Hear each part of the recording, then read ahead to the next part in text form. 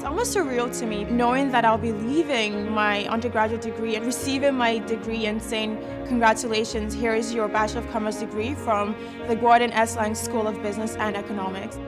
When I think of dad, it's business. So I thought it would be an honor to name the business school after him. This isn't just about a name, this is about the right name. This is about a business leader with who our values align.